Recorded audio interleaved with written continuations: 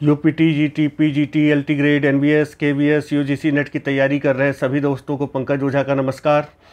दोस्तों, हमेशा की तरह एक बार फिर से आ गया हूँ सुपर ट्रिक लेके शेक्सपियर के कोरस पर। शेक्सपियर के किन किन प्ले में कोरस है, ये पूछा जाता है, या इस तरह से पूछा जा सकता है which one of the following is not in which play of the Shakespeare chorus is not introduced ऐसे पूछा जा सकता है। या in which play of Shakespeare first time chorus is introduced ऐसे पूछा जा सकता है। तो कोरस पे क्वेश्चन पूछा जाता है। और आज कोरस पे एक छोटी सी ट्रिक बताऊँगा, छोटा सा वीडियो है। और इसके पहले की जितनी भी अभी तक 22 ट्रिक मैं डाल चुका हूँ पेड में तो उन ट्रिक्स को आप अवेल कर सकते हैं। व्हाट्सएप के ज़रिए सूचना ले सकते हैं और ऐप डाउनलोड करिए। उन सारी ट्रिक्स को आप अवेल कर सकते हैं। हमारा टारगेट है 50 ऐसी ट्रिक्स देने का जो कि आपको हम देते रहेंगे। और सारी ट्रिक्स हैं जो कि आपको हम अवेल कराते रहेंगे। आइए शुरू करते हैं। देखिए दोस्तों कोरस में बहुत आसान ट्रिक है। इसमें कुछ आपको करना नहीं है। ये देखिए।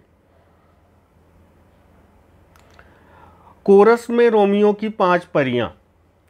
कोरस में रोमियो की पाँच परियाँ। ये याद रखिए। कोरस में रोमियो की पाँच परियाँ याद रहेगा ना?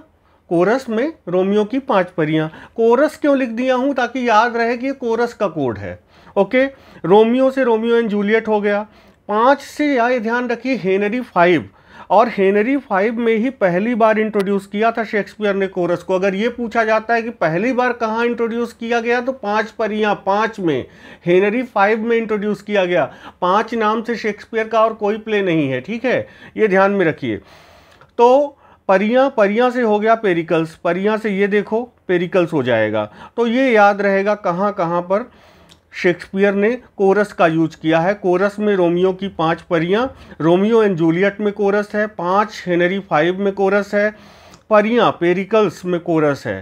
तो ये ध्यान में रखना है, इस ट्रिक के ज़रिए कोरस का जो ये इशू है कि शेक्सपियर के किन किन प्ले में कोरस है, आप तुरंत चौंक जाते हैं, आपको दिमाग में नहीं आता बस इतना याद रखिए कि कोरस एक जगह मान लीजिए, वहाँ पर रोमियो की पाँच परियाँ हैं। बस आपको कभी नहीं भूलेगा, बस इतना ध्यान रखिएगा कि हेनरी फाइव में पहली बार इंट्रोड्यूस किया था कोरस को शेक्सपियर ने। ये ध्यान में रखना है किसमें? हेनरी फाइव में। ये ध्यान में रखना है आपको। तो दोस्तों, ये एक छोटी सी ट्रिक थी, इसको आप तैयार रखिए, याद रखिए, इसको मैं अपलोड कर देता हूँ। यूट्यूब पर भी दे दूँगा। Okay, thank you very much.